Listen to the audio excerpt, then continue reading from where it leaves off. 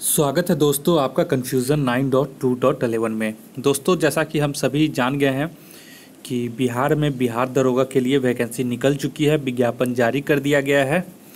लेकिन इस विज्ञापन में ऐसा क्या चीज़ है जिसके कारण हज़ारों छात्र इस फॉर्म को फिलअप नहीं कर पा रहे हैं दोस्तों? तो वो एक ऐसा चीज़ है, वो देख लेते हैं, बहुत लोगों का ध्यान नहीं गया होगा। तो वो लोग भी देख लें इस वीडियो को और देख लें कि आप इसके अंदर में आते हैं या नहीं आते हैं। जो लोग उस कंडीशन को फुलफ़िल कर रहे होंगे, वही लोग फॉर्म फिलअप करने के योग्य हैं। और क्या है लोगों का आपत्ति? और लोग एक ग्रुप बनाकर प्रोटेस्ट करने के लिए भी तैयारी कर रहे हैं।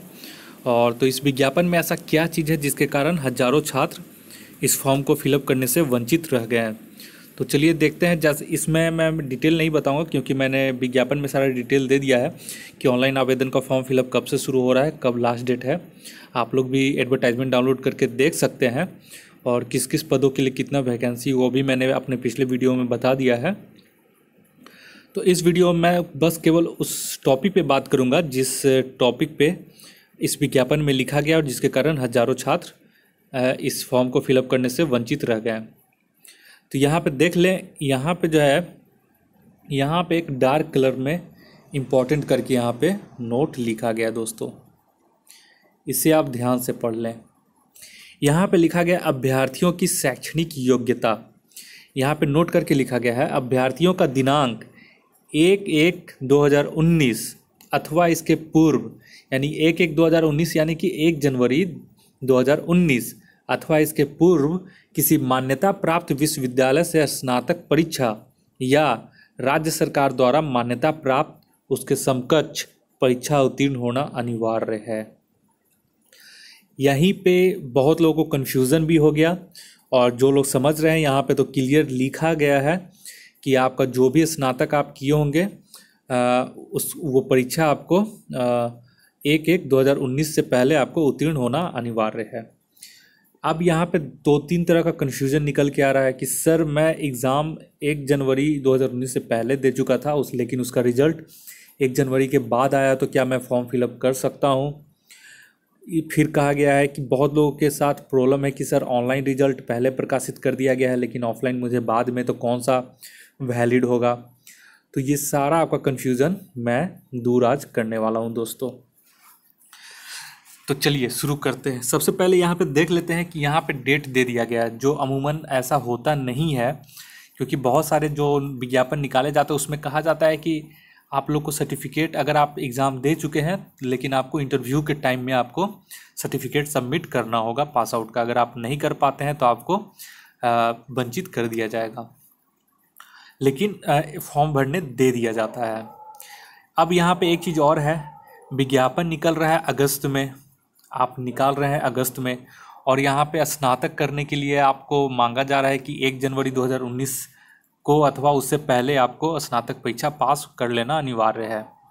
तो ये सर कैसे आप अगस्त में विज्ञापन निकाल रहे हैं तो आप अगस्त तक का टाइम देते कि अगस्त तक में आपको पास आउट हो हो जाना चाहिए या फिर सितंबर में या फिर इंटरव्यू के टाइम आपको पास आउट का सर्टिफिकेट देना ज़रूरी है। अगर जो लोग नहीं दे पाएँगे, उनको वंचित कर दिया जाएगा ज्वाइनिंग से।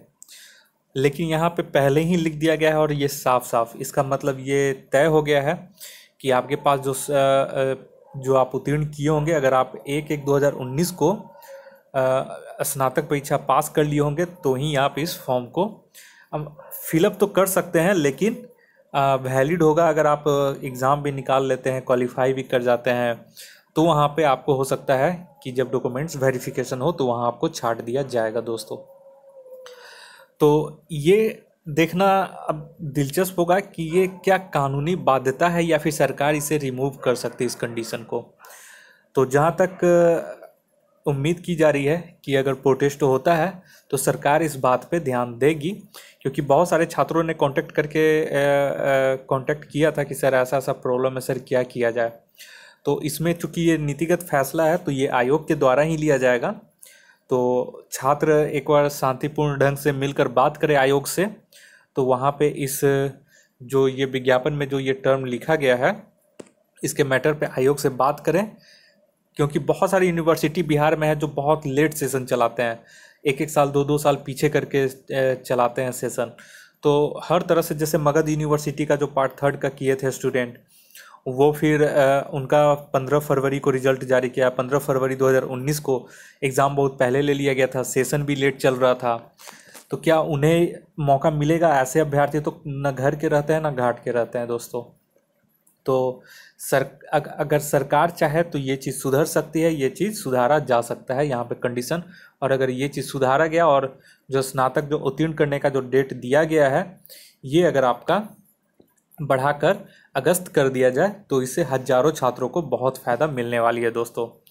तो अगर जो छात्र अपना जो मिलना चाहते हैं या फिर जुड़ना चाहते हैं तो इसके कमेंट बॉक्स में अपना जो ग्रुप बनाया है, उसका लिंक दे सकते हैं। जो छात्र जुड़ना चाहते हैं, उस लिंक के थ्रू तो इसके कमेंट बॉक्स में जाके आप देख सकते हैं। अगर वहाँ लिंक है तो आप जुड़ सकते हैं। कोई छात्र अगर लिंक दिए होंगे ग्रुप के लिए तो उस छात्र अगर और कोई ज्वाइन करना चाहते होंगे तो वो मेरे कमेंट बॉक्स में, इस वीडियो के कमेंट बॉक्स में जाकर वहाँ से जुड़ सकते हैं दोस्तों। कुछ छात्रों ने मुझे अपना मार्कशीट भी सेंड किया तो वो मैं मार्कशीट भी दिखा देता हूँ आप लोगों को ताकि देखकर आप समझ जाएँ कि उनके साथ कितना बड़ा धोखा हो रहा है और मतलब कितना उनके साथ मुसीबत है। एक तो इस जो यूनिवर्सिटी है वो लेट सेशन करवाता है ऊपर से जब विज्ञापन निकलता है वैकेंसी का तो यहाँ पे भी आ, उनका जो ग्रेजुएशन का जो डेट है परीक्षा उत्तीर्ण का वहाँ पे भी डेट में उन्हें प्रॉब्लम कर दिया जाता है। तो इस तरह से वो परेशान हमेशा रहते हैं और ऐसा एक छात्र, दो छात्र के साथ नहीं, ऐसा हज़ारों छात्रों के साथ है। तो ये आप देख लीजिए कुछ लोगों ने मुझे भेजा था फ़ोटो, वो मैं आपको दिखा देता हूँ। ये भेजे यहाँ पे तो क्लियर साफ़ पता नहीं चल रहा है, लेकिन यहाँ पता चल रहा है, यहाँ पे आप देख सकते हैं। ये जो डेट है, पंद्रह फरवरी 2019 लिखा गया है, और ये बोध गया, यानी कि मगध यूनिवर्सिटी का ये है। ये ग्रेजुएशन जो डेट है, इनका जो सर्टिफिकेट जो पास आउट डेट दिया गया है, वो पंद्रह फरवरी 2019 है। जबकि ये एग्ज़ाम बहुत पहले दे चुके थे, लेकिन जो उत्तीर्ण का जो रिज़ल्ट निकला था, वो इनका पंद्रह फरवरी को निकला था दोस्तों।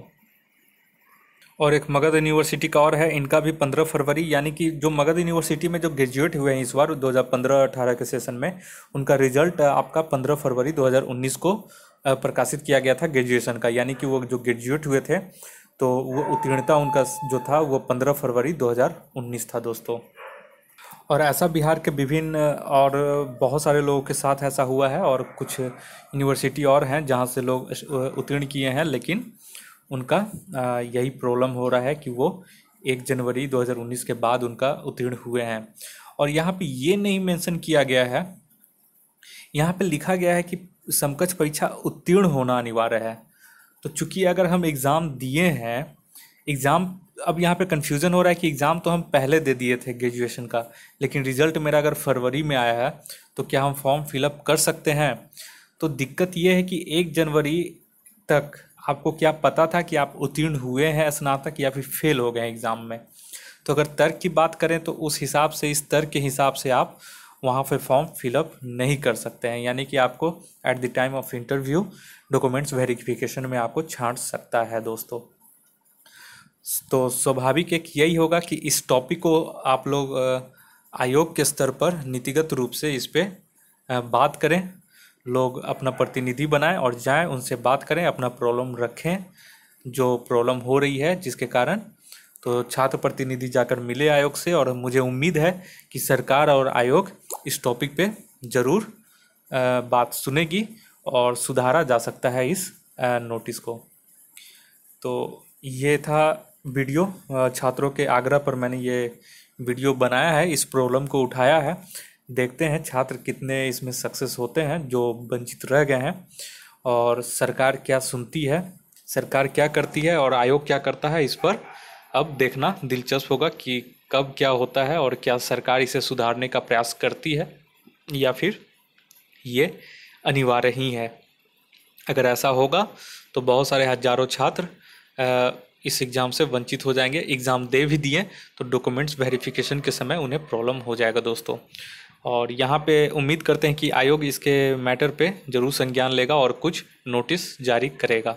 तो छात्र भी अपने स्तर से प्रयास कर रहे हैं तो अगर जो छात्र हैं तो कमेंट बॉक्स में अपना ग्रुप का जो लिंक है, वो शेयर कर दीजिए।